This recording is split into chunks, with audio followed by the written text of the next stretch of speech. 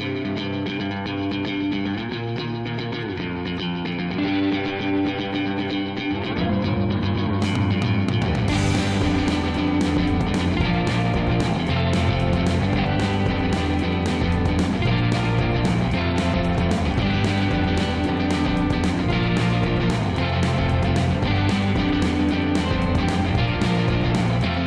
Yeah, so Surfercross, I started it 21 years ago. Grew up riding, met some surfing friends, and uh, they love to ride, so decided to put this event on and called it Surfercross.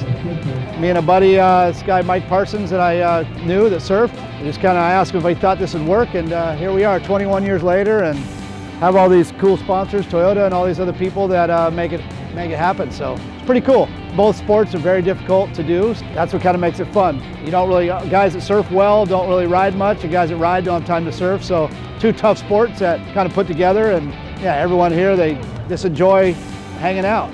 So it's cool to have people meet people in other industries, and I have an industry class where, you know, guys that work in all these different industries, motorcycles, surfing, maybe they own a car dealership that just rode by, lots of other things.